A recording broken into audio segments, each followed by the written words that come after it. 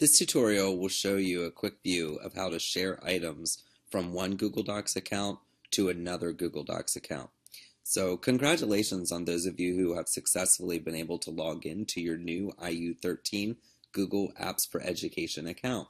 So remember to log in, you simply go to Google and you click on sign in. When you click on sign in, Google has the ability to remember all of the different usernames and passwords that you may, or usernames at least, that you have of all your different accounts. So if your IU13 account isn't listed in here, this is where you would click on add account to get into that particular account. So I'm going to click on a former Google account that I had and click on sign in. And now that I'm in my Google Apps account, I can click on these little dots to get to the different apps. So in this case, I want to click to get to the drive. The drive is where all of my Google Docs information is, so all my files, my documents, my spreadsheets, and everything.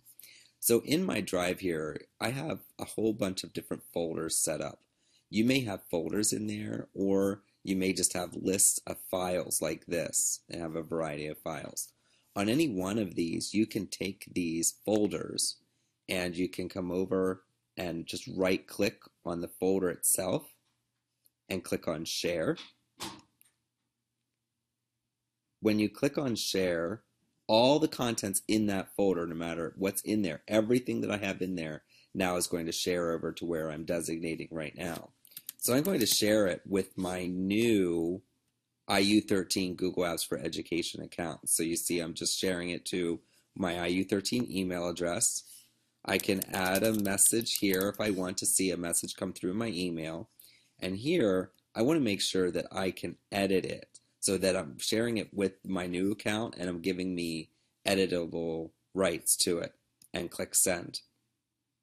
The moment that I do that, it's automatically shared over to that account. So I can take anything in here that I have all these folders and I can go to every single one of these folders and I can again right click on it, click share, enter my IU13 email address, make sure I can edit it, and click send. So everything that I have in this folder right now, if I click on this folder, everything that's in that folder is going to be shared. So this is the quickest way. If you don't have folders set up, you can click over here for new. You can choose folder. You might want to put old Google Docs files and click create.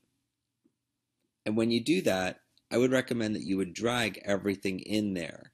So if you do your drop down for my drive and you go to that folder that I just created, old Google Docs files, I can then, I have that folder open and I can use that folder. So anything that I have recent, I can click on and I can just drag, just drag one after another to this file. So I could take this test here and I could just drag it in there. So I can just drag, drag, drag, drag, drag anything that I want in there. And then I can come over to this folder. And again, I can right click over here as well, just like I could in here. Click on share. Enter my IU13 email address and click send. And it automatically then is going to send over to my new IU13 a uh, Google Apps account. So that's about the quickest way to be able to get all of your files moving from your personal account to your new IU13 account.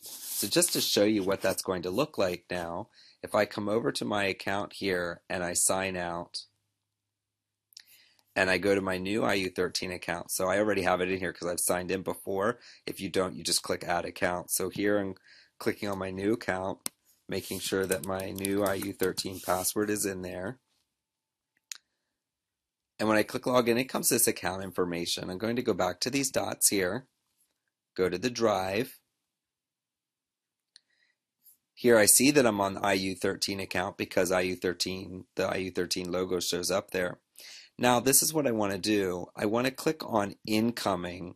Incoming will show me everything that I have shared just recently. So notice this other file, these files came in here, these folders that just came in.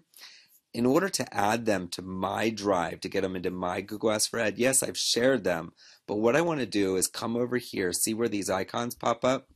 I want to click on the icon Add to my drive.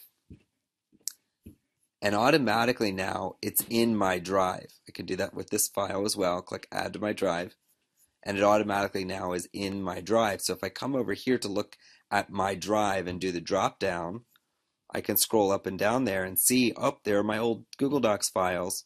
So I can click on that and I can see every single file that I have in there. So I have the